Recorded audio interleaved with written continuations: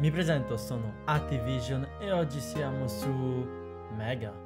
Ok, partiamo dal fatto che un sacco di voi mi hanno chiesto nei commenti come funziona Mega e perché non installa i file.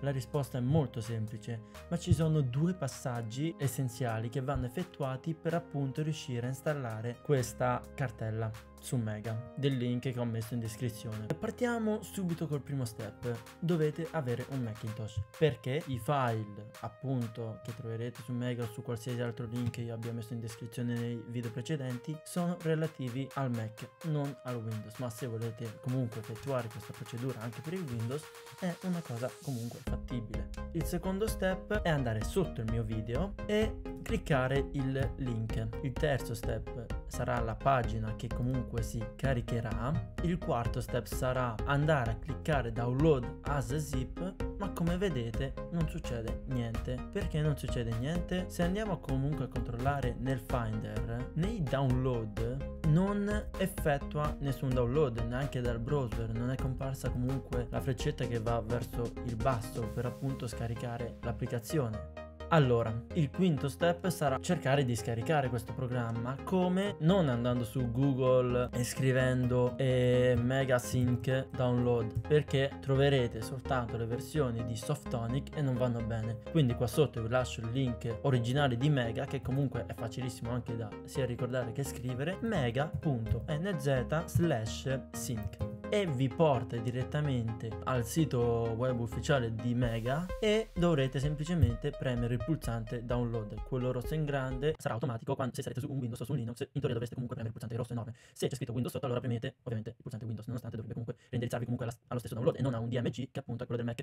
Mentre si è finito di scaricare, apriamo questo Mega, andiamo a importarlo in applicazioni, ma io lo vado ad aprire anche perché lo voglio spostare nel nella scrivania così faccio bella figura possiamo benissimo andare ad estrarre l'installazione che non ci serve chiudiamo la finestra e andiamolo ad aprire ovviamente accettiamo mettiamo la password del sistema dell'amministratore immagino che voi siete amministratori del vostro computer e andiamo ovviamente a fare un login. Dopo che avete avuto accesso alla versione desktop o anche prima nel mentre scaricate Mega potete comunque crearvi un account, ci vogliono due secondi e adesso io vado a fare il login perché se no non possiamo comunque andare negli step successivi. Una volta che avete effettuato l'accesso vi dovrebbe chiedere ma a me non me l'ha chiesto di potete fare una sincronizzazione completa o parziale dei file a scelta. Una volta dentro l'account non dovete fare nient'altro a parte ritornare allo step 4, quindi andiamo a riaprire il nostro Safari, ritorniamo sul link sotto il video di Creative Cloud che comunque vi,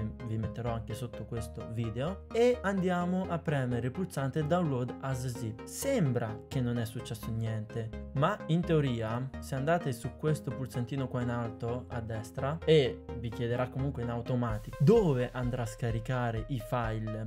In questo caso creerà una cartella in più. Ovviamente aggiungiamo questa cartella sempre come destinazione.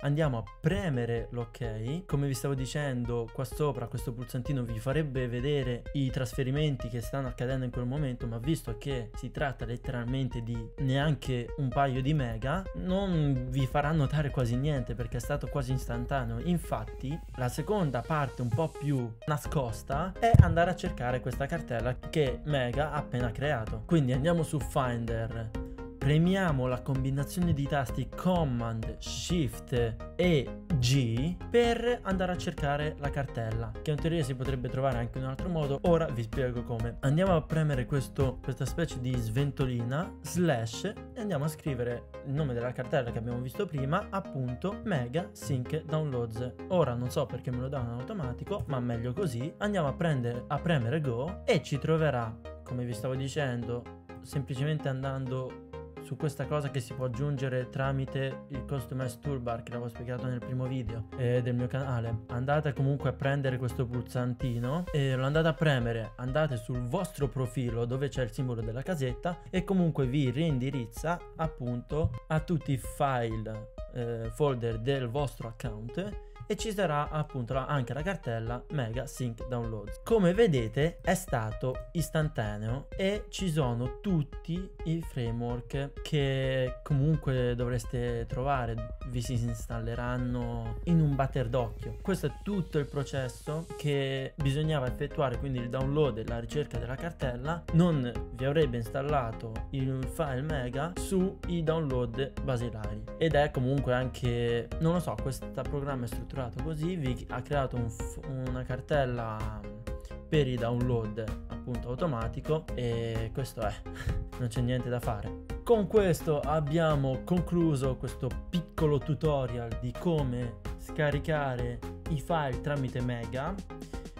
Vi volevo ringraziare delle V-Vision e noi ci vediamo in un prossimo video.